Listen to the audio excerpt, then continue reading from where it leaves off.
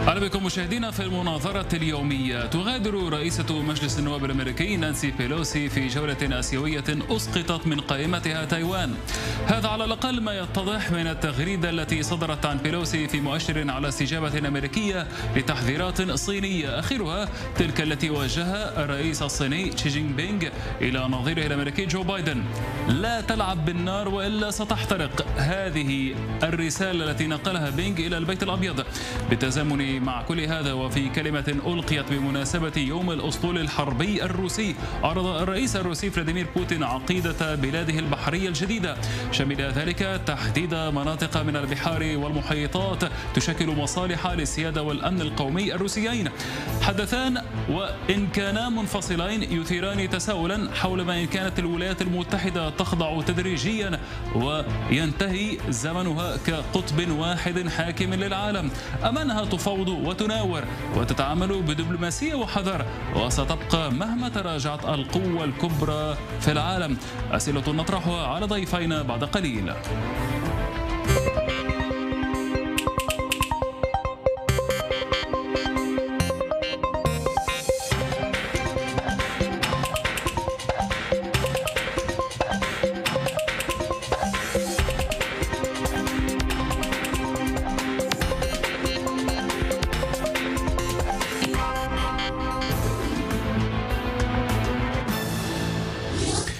ينضم إلينا في هذه المناظرة من موسكو دكتور محمود الأفندي المختص بالشأن الروسي والأستاذ بالأكاديمية الروسية بموسكو ومن نيويورك دكتور نصير العمري المحلل السياسي. أبدأ معك دكتور نصير إذا تايوان على الأقل حتى هذه اللحظة يبدو أنها أسقطت من قائمة جولة رئيسة مجلس النواب نانسي بيلوسي. هذا بالإضافة إلى حوادث أخرى سابقة. أصبح الكثير يقول بصوت أعلى وأعلى إن الهيمنة الأمريكية تنهار أكثر فأكثر وهي تخضع للتحذيرات الصينية والروسية إلى جانبها.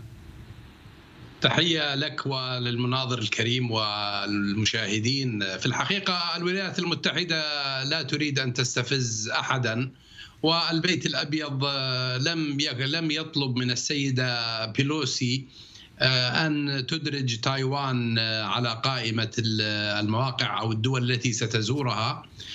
ولكن هذه دولة ديمقراطية فيها سلطة فيها فصل للسلطات. وطبعا السيدة بيلوسي هي سيدة نفسها. ولكنها بنفس الوقت تعلم بأن هناك سياسة خارجية أمريكية هي سياسة الصين الواحدة. ومعناها أن الولايات المتحدة تتعامل لا تتعامل مع تايوان كدولة مستقلة ولكن ويعني لا تستفز الصين فيما يتعلق بمستقبل تايوان ولكن بنفس الوقت الولايات المتحدة ملتزمة بأن يكون أي تحول في في هذه الجزيرة ومستقبلها السياسي هو مرتبط بسكانها الذين يزيد عددهم عن 20 مليون. ومن الواضح أنهم لا يريدون الانضمام إلى الحكومة أن يكونوا جزء من الصين لأنهم لم يوافقوا على هذه الحكومة الصينية اذا أظن بأن الولايات المتحدة يعني تثبت نفسها وعلاقتها موجودة مع تايوان. لكن من الحكمة يعني أن لا تستفز دولة مثل الصين خاصة أن ذلك لا يغير الكثير. هي زيارة يعني رسمية ولا تغير في واقع أن العلاقة علاقة تايوان بالولايات المتحدة هي علاقة وطيدة وقوية. لكن دكتور قبل أن ننتقل لدكتور محمود الأفندي كيف تفسر التصريحات السابقة للرئيس الأمريكي جو بايدن حول الدفاع عن تايوان عسكريا أن يتطلب الأمر؟ أظن بأن ذلك لم يتغير. سياسة الصين الواحدة أو الموحدة لا تعني بأن الولايات المتحدة ستقف متفرجة على العكس. أظن بأنها ستهب للدفاع عن تايوان كما هبت أوروبا للدفاع عن أوكرانيا. وهي دول يعني حليفة للولايات المتحدة هي لا تحكمها لا تحكم هذه الدول ولا تتحكم بها. يعني تايوان هي دولة ديمقراطية واليابان دولة ديمقراطية. وبقية دول كوريا الجنوبية. اذا هذا تحالف بين دول ديمقراطية وأظن بأنه هذا ما يزعج الصين أن هناك تحالف لديمقراطيات يعني عكس ما تراه في الصين حكومة طيب. مركزية لا يوجد فيها حقوق للمواطنين يعني وفصل سلطات من أي نوع في نعم. الحقيقة. دكتور محمود سمعت ما تفضل به دكتور نصير. بالنهاية الولايات المتحدة هي عبارة عن مجموعة من المؤسسات الديمقراطية إليها تحتكم في اتخاذ قراراتها والذي يزعج الصين وربما بنهاية المطاف روسيا هو هذا الحلف الناشئ بين هذه الدول الديمقراطية. الولايات المتحدة تنظر الأمور بحكمة لا تريد أن تستفز لكن لو تطلب الأمر سوف تكون قوية وسوف تهب لمساعدة حلفائها. ردك على كل هذا. أول شيء يسعد مساء صديقي والأخوة المشاهدين والأستاذ نصير طبعا. آه خلينا نكون واقعيين يعني بشكل واقعي وبشكل منطقي. هذا التحالف الديمقراطي الذي أسسه الولايات المتحدة الأمريكية هو ليس ناشئ. هو من عام 1945 بعد نهاية الحرب العالمية الثانية. وفعليا تمكن وأصبح قوي بعد بداية الحرب العالميه بعد بداية الحرب الباردة عام بالخمسينات. فهذا ليس ناشئ أول شيء. يعني هو منظمه إمبريالية بشكل كامل على أساس الليبرالية والديمقراطية آه، تسيطر عليها الولايات المتحدة الأمريكية وانشئت ما يسمى المليار الذهبي، ما هو المليار الذهبي؟ تعلم أنه المليار الذهبي هو الذي يقود الخمس مليارات الأخرى الباقية في العالم وأن أصبحت ستة أو سبعة حسب كسر سكان العالم.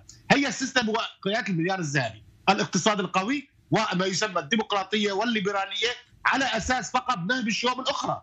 يعني هذه الليبرالية تنهب الشعوب الأخرى تحصل على هذا المليار عن طريق سرق ثرواتها وإغراقها في الديون عن طريق صندوق النقد الدولي وما هو عليه. وكل منظمات الأمم المتحدة التي أنشئت هي تابعة للولايات المتحدة الأمريكية هذا شيء واقع. ولكن فعليا اللي حصل يعني خلينا نكون آه تدريجيا اللي حصل. اللي حصل بالفترة الأخيرة وخصوصا من استلام آه بايدن الرئيس ترامب طبعا لما كان في إثناء فترته كان يحاول أن آه، أن يزيل هذه الشوائب أو يرجع الولايات المتحده الامريكيه هيبتها ولكن فعليا ما حصل. لما أتى الرئيس بايدن إلى السلطة انتهت آه، هيمنة الولايات المتحدة الأمريكية. فعليا أصبحت بقيادتها وسياستها الديمقراطية أو كان الحزب الديمقراطي. أو بدات تنتهي نوعا ما تدريجيا. يعني أذكر آه، بدا تدخل عسكري رغم انف أمريكا. التدخل العسكري عفوا بدايه العملية العسكرية الخاصة في أوكرانيا. بعدها بدأت الصين تقوى. أصبح في هناك حلفاء أصبح هناك مجموعات. يعني دائما كانت الولايات المتحده المجموعة السبعة أو الثمانية كانت مع روسيا. الآن هناك الشوص يعني ما يسمى مجموعة شنغهاي هناك مجموعة البريكس هناك مجموعة أوبك بلس كل هذا بدأ ينهار الولايات المتحدة الأمريكية. وخصوصا أنت بالأخير يعني كلنا نعرف الزيارة المهينة للرئيس بايدن للمملكة العربية السعودية. كانت بكل اللحظات كانت مهينة. يعني طلب النص ولم يعطيه محمد بن سلمان أي شيء ولا أي دولة خليجية. بدأ الانهيار الأمريكي هذا أمر واضح. والآن بدأت أمريكا حتى يعني تصور إنه الرئيس بايدن خلال زيارته السعودية قال سأضرب إيران عسكريا في حال أنها أثرت على أمن دول أخرى وفعليا لا تستطيع الولايات المتحدة الأمريكية أن تضرب إيران ولا تستطيع أن تضرب الصين أو تحاول عن تايوان. هذا أمر طبيعي لأن الولايات المتحدة الأمريكية لا تدخل أي بلد وتدخل فيها عسكري وفيها منظومات دفاع جوية ولديها جيش قوي. هي تدخل على بلاد فقط ليس لديها جيوش. يعني مثل أفغانستان ولا العراق ولا ليبيا. فعليا دول ناشئه فهي تستطيع يعني أن تتكبد بخسائر فعليا اللي حصل الآن إنه بدأ الشرخ كبير يحصل بين أوروبا المنظومة الديمقراطية الليبرالية أصبح شرخ كبير. السبب هو انهيار المليار الذهبي. المصالح الاقتصادية. يعني الدول الأخرى رفضت أن تسرق وبدأت تتخذ قرارات حسب آه، مصلحتها الاقتصادية والسياسية. فبدأت الولايات المتحده الامريكيه تفقد حدائق الخلفية شيئا فشيئا. نبدأ أول شيء في السعودية اللي هي حديقتها الأساسية الخليج العربي أيضا الصين. يعني الناس أن الصين هي مدعومة أكثر من المتحدة الأمريكية؟ يعني في اليمن رفع اقتصاد الصين هي المتحدة الأمريكية فعليا. ودائما كانت طيب. هي حليفة لها ضد ضد الاتحاد السوفيتي. فنقطة مهمة جدا. يعني بدأ الآن انهيار لذلك بالنقطه بس نقطة بالنسبة لتايوان. آه، بلوسي هي ليست آه، يعني هي لها قرار فعلا إنه هي رئيس الكونغرس الأمريكي. هي قررت أن تذهب إلى الصين. ولكن اللي حصل إنه كان الأمريكان يتوقعوا دائما إنه التحذيرات الصينية غير جدية بالفعل هي بالتاريخ. كان كل تحذير الصيني غير جدي. ولكن اللي حصل إنه الصين البارحة رفعت أسلحتها وبدات المناورات العسكرية البحرية أمام التايوان في وقت انطلاق الطائره ففهم الأمريكيون أن بالفعل الصينيين قرروا بشكل نهائي أن يضربوا هذه الطائرة. صحيح. طيب. فلذلك كانت تصبح حرب عالمية ثالثه بامتياز. فلا تستطيع الولايات المتحده الامريكيه طيب. بشكل اشكال في حالتها الآن عسكريه أن تدخل إلى أي دولة عسكريا لديها جيش أو اقتصاد طيب. قوي طيب هذا أمر موجود طيب يعني بدأ الانهيار التدريجي طيب دعنا اعود دكتور نصير دكتور نصير طبعا. تحدث هنا دكتور محمود عن كثير من الأمور والأحداث والظواهر التي أريد أن نتطرق إليها لأنها مهمة جدا لكن قبل كل شيء ولو نبدأ من آخر الأحداث أنت سمعت التصريح الذي صدر عن الرئيس الروسي فلاديمير بوتين فيما يتعلق بيوم الأصول الحربي الروسي؟ يعني ما كانت أي دولة في العالم فيما سبق تقول كلام مثل هذا في السابق؟ أي أننا سوف ندافع عن أمننا القومي بنشر أساطيلنا وقواتنا البحرية في محيطات وفي بحار مختلفة من القطب الشمالي إلى البحر الأسود إلى البحر الأحمر؟ يعني وكان نشهد بداية لمزاحمة الأساطيل الأمريكية هنا. يعني هي ليست بداية. أظن بأنه الولايات المتحدة والتحالف الغربي ومعه الاتحاد السوفيتي بعد انتهاء الحرب العالمية الثانية. كان هناك تزاحم والحرب الباردة ما هي إلا تزاحم بين الاتحاد السوفيتي ومن جهة والتحالف والمعسكر الغربي من جهة أخرى. فهذا ليس بجديد يعني. وأفغانستان يعني كان هناك قتال في الحقيقة بالوكالة عن الاتحاد السوفيتي وكان هناك حرب كوريا الحرب الكورية وغيرها. ولكن ما يحصل اليوم هو فعلا آه، ظهور قوة على الساحة. آه، وهذه القوة هي طبعا القوة الحقيقية هي الصين لأنها قوة اقتصادية ويمكنها يوم من الأيام أن يعني تنشر قوة عسكرية وهي تزاحم الولايات المتحدة استراتيجيا في التكنولوجيا. وهذا كله حقيقة وواقع. ولكن يعني أنا لا أتفق مع الأستاذ محمود لأنه فعلا يعني يرسم آه، عالم عجيب آه، يعني غير موجود ومع كل الاحترام. آه، وهو أن هناك انهيار للولايات المتحدة والتحالف الغربي، نعم هناك تراجع لأنه الصين دولة موجودة وتفرض نفسها وهذا واقع وتتعامل معه الولايات المتحدة. ولكن فيما يتعلق بقوة الولايات المتحدة وهيمنتها على الاقتصاد على الاقتصاد العالمي وعلى المفاصل المفاصل الاقتصاد الدولي وال يعني العقوبات التي فرضتها على روسيا هي أكبر دليل بأنها تهيمن على مفاصل الاقتصاد العالمي. والصين في الحقيقة هي تحتاج في نموها واقتصادها إلى الولايات المتحدة آه، وإلى أوروبا. والصين تخشى آه، على هذه العلاقة. فالقول يعني بأن أمريكا والغرب ينهارون أمام آه، روسيا وأمام الصين يعني هذا غير غير صحيح.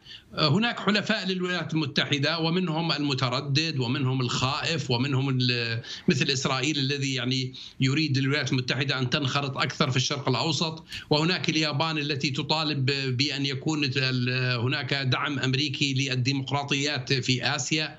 ولكن الولايات المتحدة يعني لا تحكم كما تحكم روسيا يعني هذه الجمهوريات التي استقلت وما زالت روسيا تحكمها. رغم أنها يعني في الأمم المتحدة هي دول مستقلة ولكنها تحكمها من خلال التخويف والتهديد. وبيلاروسيا مثال على ذلك يعني كيف يتدخلون في انتخابات آه، بيلاروسيا ويثبتون طاغية على حساب الشعب. وفعلوا ذلك في آه، روسيا. ثبتوا يعني طاغية آه، مجرم وهجر شعبه وقتله. على أرجو. على حساب على حساب شعبه فالولايات المتحدة لا تعمل بهذه الطريقة. حتى مع محمد بن سلمان ولي العهد السعودي آه، هي ذهبت إلى الحوار معه رغم أنه نعم متهم آه، وليس متهم مثبت أنه يعني اتخذ قرار آه، أغضب الولايات المتحدة والعالم كله. فهذا هو الفرق بين أن تقود الناس بالعصا والطغيان مثل تفعل روسيا وكما تفعل آه، الصين لشعبها. يعني آه، آه، هناك إقليم في الصين في حوالي يعني حوالي يعني هناك إقليم للمسلمين فيه معتقلات جماعية وفي قمع وممنوع أن تمارس دينك ومحو للهوية الإسلامية. وهذا ما لا تفعله الولايات المتحدة لأنها كما رأينا يعني السيدة بيلوسي يعني طلبوا منها باحترام ربما أتوقع يعني من وراء الكواليس أن لا تقوم بهذه الزيارة ولو أصرت؟ على فكرة لو أصرت لاستطاعت أن تقوم يعني بها. ولكن كما قلت يعني السيد محمود الأفندي يعني يرى العالم على أنه حلبة مصارعة، نحن لا نراه على أنه حلبة مصارعة، هناك خلافات دولية ولا نذهب إلى العالم لدعم الطغاة في فنزويلا ودعم الطغاة في الشرق الأوسط. ودعم الطغاة في أوروبا وتهديد الدول يعني من أجل تحقيق أهداف سياسية. هذا ما تفعله الصين وتفعله روسيا. الولايات المتحدة لا تفعل ذلك. الولايات المتحدة تتعامل مع دول مستقلة مثل الإمارات مثلا. الإمارات هناك خلافات مع الولايات المتحدة. ومع السعودية هناك خلافات مع إسرائيل لها خلافات. فهذه دولة ديمقراطية وربما هذا يعني ما لا يستطيع السيد محمود أن يقبله وهو أننا دولة ديمقراطية لا نقود الناس بالعصا ولا بالطغيان ولا بالتهديد ولا لا مع شعبنا. بالسرقة والنهب. دكتور محمود نراه يبتسم ويضحك سوف نسأله عن السبب لكن قبل ذلك دكتور محمود أشار هنا دكتور نصير إلى مسألة مهمة. يعني دوما نسمع هذا الكلام حول انهيار نظام القطب الواحد لكن عندما ننظر إلى التفاصيل وإلى الأرقام لو ننظر إلى آه، كما قال السيد آه، دكتور نصير ما تزال الولايات المتحدة تهيمن على مفاصل الاقتصاد والسياسة العالمية. لو ننظر إلى الناتج المحلي الإجمالي والفردي للولايات المتحدة ونقارن ذلك بنظريه الروسي والصيني الصيني. سنجد هنا فارق كبير جدا بحجم سنوات ضوئية. هذا عدا الاختراعات والحلفاء كما قال دكتور نصير وكل هذه التفاصيل. كيف ترد على كل هذا؟ أه، طبعا أنا يمكن فهمته فهم فهمني الدكتور الأستاذ نصير خطأ في أول لقاء. أنا أخذت الانهيار التدريجي وليس الانهيار المباشر التدريجي يعني بدأت الولايات المتحده الامريكيه تخسر. يعني ان أن تكون مثل هذا الاقتصاد القوي وهذا التحالف القوي والمليار الذهبي يعني يوما وبليله وضحاها هذا شيء شيء مستحيل. الانهيار التدريجي. يعني كيف الانهيار التدريجي؟ الحلفاء الحلفاء الأساسيين المصدر الطاقه لأنه أنت صديقي بحاجة لاي لأي آه، صناعة واي اقتصاد بحاجة إلى طاقة رخيصة. الطاقة الرخيصة الآن انتهت. كيف سيعود إليها الولايات المتحده الأمريكية؟ يعود إليها فقط عن طريق الخليج لأن روسيا عليها عقوبات وروسيا رفضت الآن والدفع في الروبل وبدأت تستخدم سلاح الطاقة كسلاح جيوسياسي. فذهبت إلى السعودية فأخذت لم تأخذ شيئا. فعليا إنه نشوف إنه حتى حليفها الاساسي نرجع بس للتاريخ شوي. المملكة العربية السعودية هي السبب الرئيس الرئيسي لانهيار الاتحاد السوفيتي على فكرة. لأنه وقتها زاد الإنتاج السعودية والخليج أدى فعليا إلى انهيار الاتحاد السوفيتي والعراق أيضا. وبدات دخول تدخل العراق في الكويت وقتها. يعني دائما السعودية هي صاحبة قرار أمريكي حديقة خلفية. انتهت هذه الأمور.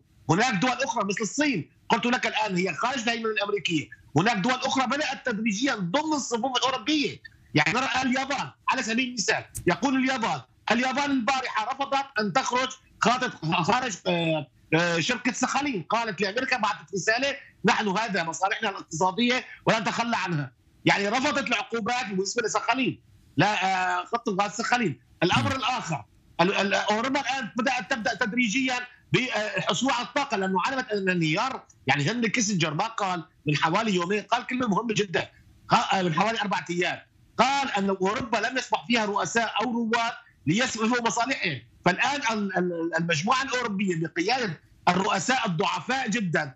يعني التي وضعتها الولايات الأمريكية بدأت تشعر أنها أمام انتفاضه شعبية ولكن بشكل تدريجي. يعني الصناعة وكل شيء اقتصاد بحاجة إلى طاقة رخيصة. هذه الطاقة الرخيصة غير موجودة. بأي شكل من الأشكال. فبدأت الآن تسأل الولايات المتحده الامريكيه والولايات المتحده ليست لديها هذه الطاقه وليست بهذه الأسعار. يعني حتى أسعار البنزين في أمريكا ترتفع. يعني هذا يعني كله انهيار التدريجي لمنظومة المليار الذهبي. ليس بليله وضحاها بماذا لماذا أضحك أنا على ك... لا أضحك أنا أبتسم على كلام الأستاذ نصير. يقول لك أن أمريكا تزرع السلام ولا تحط الطغاة. يعني يا ريت يزرعوا الطغاة بس ليس الحرب بالعراق. يعني حتى الآن من 2003 حتى الآن دخلوا في العراق. قبل كان العقوبات والآن 2003 آه، حتى الآن. العراق اليوم نراها ما يحصل في العراق الآن. هناك دولة في العراق ليبيا. هناك دولة في ليبيا. أفغانستان وضعوا الإرهابيين على رأس الذي اعتبروهم إرهابيين الطالبان وضعوهم على رأس الدولة. يعني أين الاستقرار الاقتصادي أو السياسي في أي منطقة اين تدخل الولايات المتحده الامريكيه بين أنظر إلى روسيا أو الصين. أينما دخلت؟ أصبحت سلام بيلاروسيا كان هناك انتفاضة شعبية ومقتل وحرب اهليه أوقفت. سوريا كانت مشتعله حتى 2016 كانت هناك حرب عصابات. كان كل واحد له عصابة ماسك منطقة. الآن الحكومة السورية الشرعية تملك حوالي 80% من الأرض السورية. والمشكلة الآن في الولايات المتحدة الأمريكية. يعني روسيا لما تدخل تزرع السلام عن طريق حتى لو كانت الطرق غير الطرق الديمقراطية المعتادين الليبرالية يعني أنا بعتبرها أنا بشكل شخصي انها فاشلة لأن ليس هناك ديمقراطية في العالم لا يقوم الديمقراطية، الديمقراطية بما هي يعني أن هناك حزبين مثل الولايات الامريكيه الديمقراطي والجمهوري وليس لأي طرف آخر له أن يحق أن يدخل آه، في هذه السياسة العالمية. إما ديمقراطي أو جمهوري. فهذه ليست ديمقراطية برأيي هذا رايي الخاص ولكن ولكن النقطة المهمه أحد يعني ماذا عفوا عفوا عفوا أستاذ نصير طيب نعود لك دكتور نصير أستاذ نصير لا لا لا بس كلمة صغيرة كلمة صغيرة. كلمة صغيره بس فقط. هذا أنا يعني أنا هون على على بس من نقطة مهمة رجاء خاص.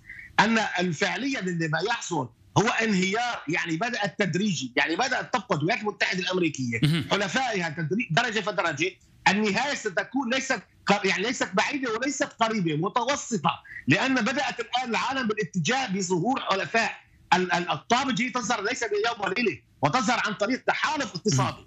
طيب. التحالف الاقتصادي يعني آه، آه، البريكس على سبيل المثال الآن طيب. تريد إيران والسعودية دخولها. هذا يعني وهناك حديث عن مصر أيضا. طيب دعني أعود إلى دكتور نصير. دكتور نصير قال هنا الدكتور محمود نقطة أحب أن أسمع رأيك حولها. الولايات المتحدة أينما تدخل تدخل لنشر الفوضى والحرب بينما روسيا تدخل لجلب السلام كما حصل في سوريا كما حصل في بيلاروسيا كما حصل في كازاخستان. هذه نقطة. ونقطة أخرى بالحديث عن هذا الانهيار الذي شدد على أنه تدريجي. لو ننظر دكتور إلى أوروبا أوروبا اليوم. أوروبا بدأت قلبا وقالبا مع الولايات المتحدة. أصبحت تريد أكثر فأكثر التعاطي مع روسيا ومع الغاز الروسي وأصبحنا نسمع من جديد الكلام حول ضرورة إنشاء قوة عسكرية أوروبية أي بعيدا عن الناتو الذي تقوده الولايات المتحدة.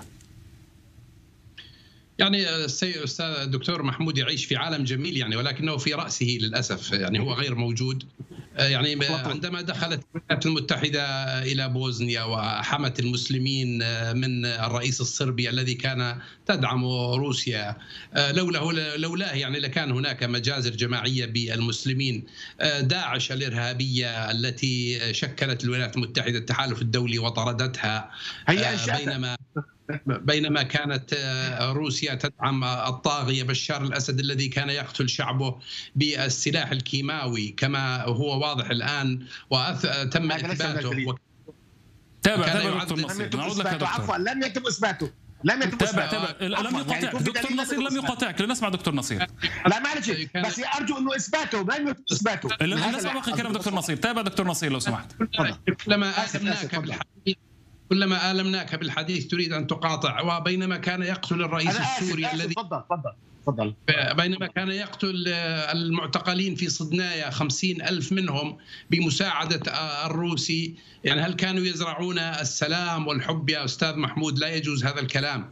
وفي بالنسبة لحرب ولا أنا لا أشيط لا أقول لك بأن أمريكا ملاك. أنا ضد كنت ضد وما زلت ضد التدخل الأمريكي في العراق وأظن بأنه كان له دوافع غبية ودوافع دينية خاطئة. ولكن الولايات المتحدة تعرضت لهجوم عندما هاجمت أفغانستان وكانت طالبان يعني تحتوي القاعدة وتحتوي أسامة بن لادن وكان هناك ردة فعل, فعل أمريكية على هجوم حصل على أمريكا.